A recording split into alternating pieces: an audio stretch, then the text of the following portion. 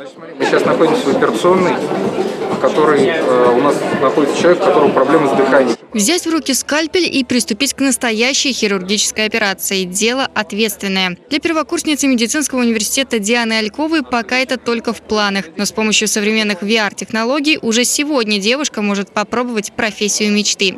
Настоящие ничего не дают делать.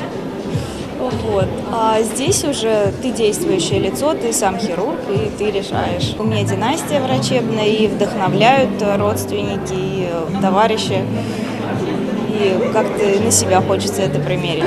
У семиклассника Тимура Мацкевича выбрать дело жизни время еще есть. Но и вопрос о профессии парень уже уверенно отвечает. Хирургом. А почему хирургом? Потому что интересно работать со скальпелем а, и понимать то, что от тебя зависит жизнь человека. Рассмотреть каждую клетку вещества под микроскопом, потренироваться накладывать хирургические швы. И не только. Любой желающий мог попробовать себя в роли врача.